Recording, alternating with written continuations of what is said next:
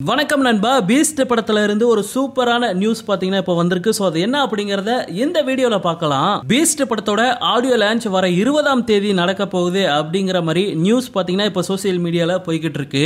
ஆனா தயாரிப்பு நிறுவனமான சன் பிக்சர்ஸ் தரப்புல இருந்து இப்போ வரைக்கும் எந்த ஒரு அபிஷியல் அப்டேட்டுமே வெளியில வராம இருக்கு.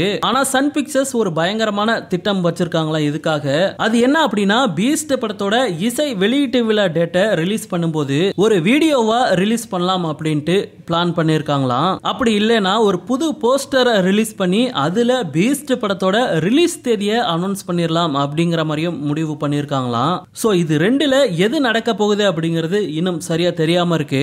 எது நடந்தாலுமே நமக்கு அப்டேட் காத்துக்கிட்டு இருக்கு அப்படிங்கிறதுல எந்த ஒரு சந்தேகமும் இல்லை. இன்னொரு பக்கம் பீஸ்ட் படத்தோட இசை வெளியீட்டு விழா எந்த இடத்துல நடக்க போகுது அப்படிங்கிற மாதிரியான ஒரு கேள்வி பார்த்தீங்கன்னா ரசிகர்கள் மத்தியில் போய்கிட்டு இருக்கு. ஏன்னா தளபதி படத்தோட இசை வெளியீட்டு விழாவே ஒரு மாநாடு மாதிரி தான் இருக்கும். அந்த அளவுக்கு சென்னைக்குள்ள நீங்க எந்த இடத்துல ஃபங்க்ஷன் வச்சாலுமே லட்சக்கணக்கான ரசிகர்கள் கூடிருவாங்க. Five star hotel Leela palace Sairam engineering college Nehru stadium இந்த மூணு இடத்துல தான் ஏதாவது ஒரு இடத்துல பீஸ்ட் படத்தோட ஆடியோ லான்ச் நடக்க போகுது.